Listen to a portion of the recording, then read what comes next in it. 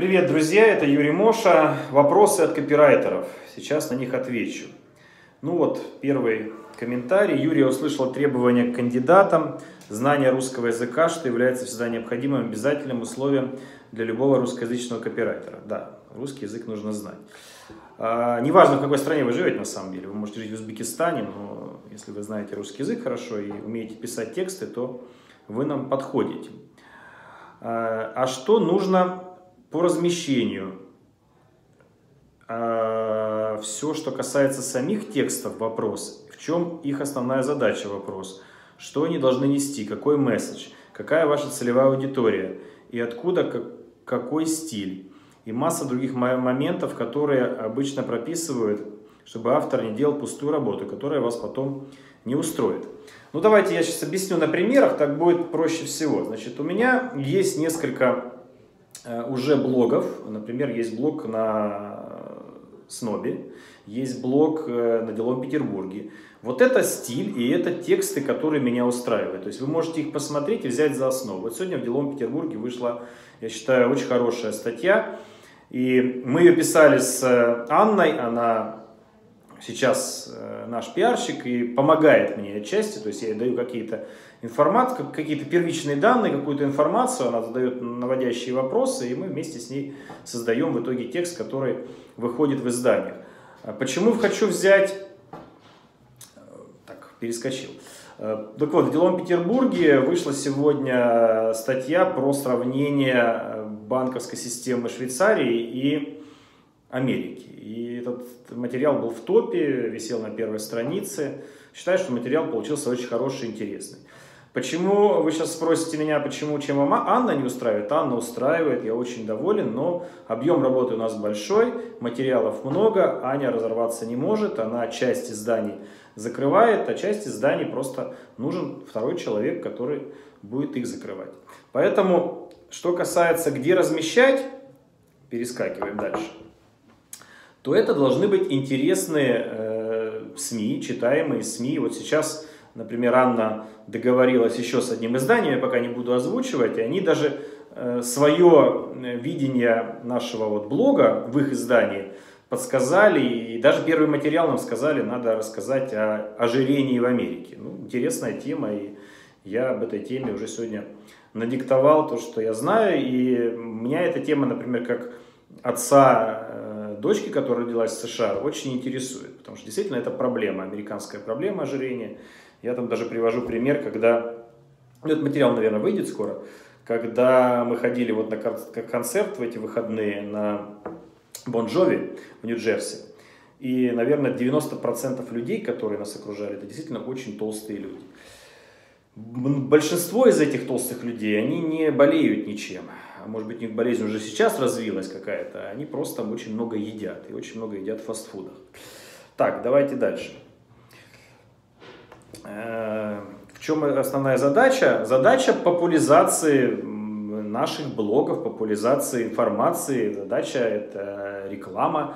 То есть мы там не пишем в, в деловом Петербурге, что хотите открыть счет в американском банке, идите в э, Русскую Америку или американский визовый центр. Понятно, что такое нам не разрешат написать. Мы бы очень так хотели. Но все равно умные люди, прочитав материал, они там начинают искать компанию Русская Америка, заходят на наш сайт, смотрят, что эта услуга у нас есть и к нам обращаются. Есть материалы, которые пишут сами журналисты. Такой пример вот э, в «Медузе» вышел материал по родам в США. Это Илья Жигулев э, писал этот материал, мой давний знакомый. Я считаю, что это один из лучших журналистов России. Когда-то первый материал, который вышел в русском Форбсе, это как раз вот э, о нас, о моей истории конкретно и о компании нашей. Как раз это делал Илья. Сейчас он работает в «Медузе», и он э, здесь приезжал со своей женой, и жена его рожала тут ребенка, ну и взял мои комментарии. То есть в «Медузе» нету, насколько, по-моему, нету там блога, либо там нельзя стать экспертом, но если можно, то мы тоже хотим туда залезть как эксперт, либо блог. То есть надо искать э, СМИ, которые э, дают возможность либо э, нам писать как эксперт, либо вести блог. Ну, например, «Эхо Москвы» нас очень интересует. И полно других еще э, изданий, которые интересны. Не только российские, это может быть украинские издания. Единственное, что они должны быть на, на русском языке. Что, срочно? Потом давайте. У нас в прямом эфире почти. Так, э, не буду уже резать, продолжим. Давайте дальше. Э, что касается целевой аудитории, целевая аудитория все люди, которые читают те или иные издания. То есть у нас разные клиенты. У нас есть клиенты э, простые, там, иммигранты, которые хотят уехать в Америку. Есть клиенты, которые хотят здесь бизнес купить. Есть кто-то, кто хочет недвижимость э, открыть, э, недвижимость купить и открыть бизнес по инвестициям. Это разные, разные люди, разная целевая аудитория и мы их э, ищем в средствах массовой информации. Пожалуйста, сформируйте четкие и точные задачи. Ну вот я вроде вам сейчас сформирую четкие точные задачи. Сейчас еще вот расскажу еще об одном копирайтере, которая просто переписала мой текст, при этом э, мой ролик с, с, в текст, который я ей дал, и сократив его до минимума, и когда я сказал это, что все, она сказала, что да, вот я так это вижу. Наверное, может быть, э, что-то не поняла, что-то не, я не досказал. Но вот сейчас, надеюсь, после этого видео э, все поймут, что мы хотим. То есть, помимо того, что вы пишете текст, вы должны размещать этот текст, э, предлагать редакторам. И когда вы откроете, вот вы договоритесь, допустим, с «Эхо Москвы», откроете там нам блог Э, и у вас будет доступ к этому блогу, либо там будет доступ к, как эксперт, то есть какую, какую-то форму они дадут, чтобы мы могли загружать туда. Потом все это будет уже проще делаться. То есть вот мы со Снобом договорились изначально, да, как бы они посмотрели, первый материал им понравился, они там в Фейсбуке даже перепосты делали не раз. И, и в топы материалы выходили, вот когда о детях я писал, тоже в топ вышел материал, в Фейсбуке там набрал очень много лайков. То есть они уже знают, что этому автору можно доверять, что он пишет интересные материалы. То же самое будет и с другими изданиями. Поэтому вам один раз договориться, а потом по накатанной оно пойдет, и вы будете размещать, размещать. Я буду давать вам материал какой-то, вы его будете дорабатывать, какие-то дополнительные вопросы мне задавать.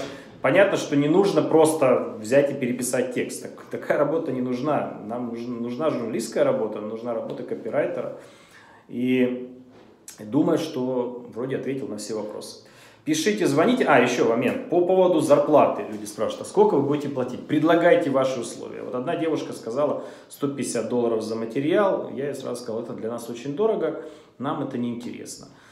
А, предлагайте варианты, которые нас устроят, и мы выберем цена, качество, ну, форма общения, потому что, например, один копирайтер мне не понравился как он сразу начал себя вести. И, э, ну, есть вещи, которые, знаете, в общении сразу отталкивают. Поэтому это рынок, я выберу лучшего из лучших. И нам нужна вторая Аня, вот, которая сейчас работает.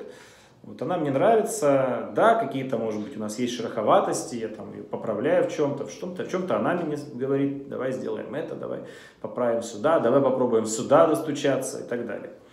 Ну, в общем, наша задача как можно в больше СМИ присутствовать и как можно больше информации из моих видео, чтобы было в тексте и распространялось через интернет. Спасибо за внимание, пишите, звоните, плюс 1 646 477 0520. Это работа на долгие годы, у меня 6 тысяч видео, потихонечку, ну не все, конечно, мы будем перенабирать, но уж тысячу точно можем перебрать в, в тексты. Пока!